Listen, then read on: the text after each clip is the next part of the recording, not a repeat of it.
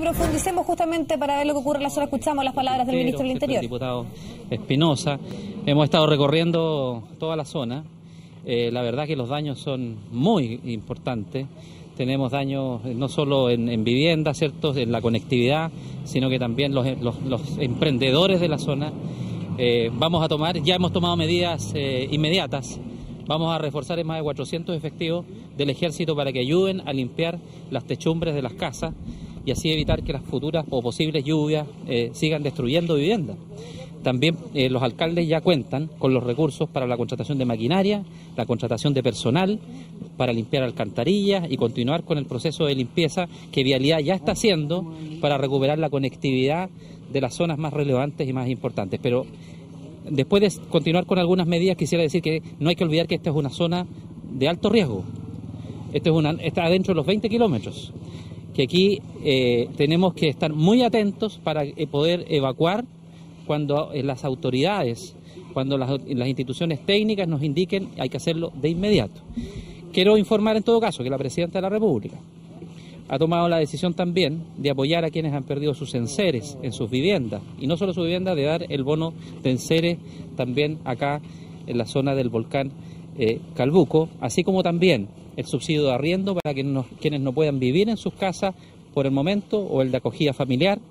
También va a estar disponible las viviendas de emergencia y eh, al mismo tiempo, por supuesto, si necesitamos contratar hostales o lugares para donde puedan vivir para que puedan dejar los albergues, obviamente también lo vamos, lo vamos a hacer. ¿Cuál diría usted que es el principal desafío, ministro, hoy día con lo que se ha encontrado?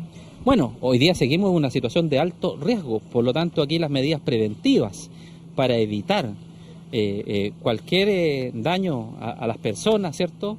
es lo fundamental. Segundo, segundo, por supuesto, el daño al patrimonio de la familia. Si aquí lo que tenemos que ver es que esto es, aquí está el esfuerzo de, toda una vida, ¿ah? aquí está el esfuerzo de toda la vida de una familia.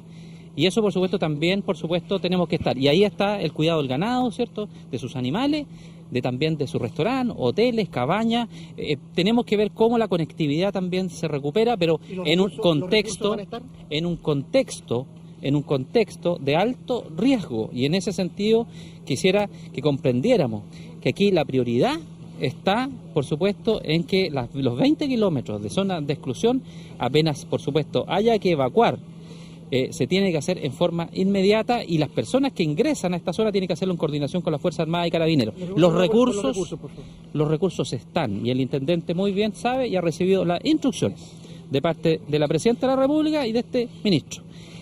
Aquí no es un tema de recursos, es un tema de que la gestión la hagamos oportunamente. Y por lo tanto, todos los apoyos que se necesiten para eh, más maquinaria, más material, palas, ¿cierto? Eh, eh, pues nos pedían palas, guantes, carretillas, escaleras y cuánto elemento se necesite para que las personas puedan eh, limpiar sus casas, ah, no, no solo ahora, sino que a futuro van a estar. Así que el intendente ya lo sabe. y ¿Cuándo podría llegar la normalidad a este lugar? Hay mucha preocupación en torno de las lluvias, porque podrían ceder más techumbres. Usted entenderá, y si conversa con cualquier experto ah, en, esta, en estas materias, esto no es algo que nosotros podemos asegurar. ¿Ah? la situación de riesgo se mantiene. Eh, las lluvias, eh, eh, hay un pronóstico de lluvias que obviamente también nos obliga a actuar con mayor celeridad en algunos en, limpieza. Pero nosotros no vamos a reducir la zona de exclusión mientras los organismos técnicos a nosotros no nos indiquen que están todas las condiciones para poder reducir la zona de riesgo. ¿qué pasa con las condiciones sanitarias? Acá hay mucho polvorillo que se está, la ceniza. se quejaron, ministro, ayer, eh, alcalde en particular, de que, por ejemplo, no le avisaron de esta evacuación eh, express o algo fallida incluso en la zona del lado sur. ¿Qué pasó con eso? Eh, ¿Qué respuesta le da a esas autoridades locales? El alcalde Paredes se quejó particularmente. No hay ninguna evacuación, no hay ninguna evacuación fallida. ¿ah? Lo que hay es que cuando hay una información ah, oficial por los organismos técnicos, en este caso la DOH, Senna Geomin y los sobrevuelos, y nos indican que el aumento de los cauces, inclusive sobre los 20 kilómetros, pueden causar daño en la población, nosotros vamos a tomar la medida de la evacuación. En este caso fue por un par de horas, pero si lo tenemos que hacer, lo vamos a volver a hacer, porque el centro de todas las medidas es proteger la vida de las personas y, por supuesto, en conjunto con las autoridades locales y en conjunto con todas las autoridades eh, regionales. Bueno, nosotros vamos a seguir visitando la, visitando la zona. Muchas- sí, sí, a Ralú. Muchas gracias. Muchísimas gracias.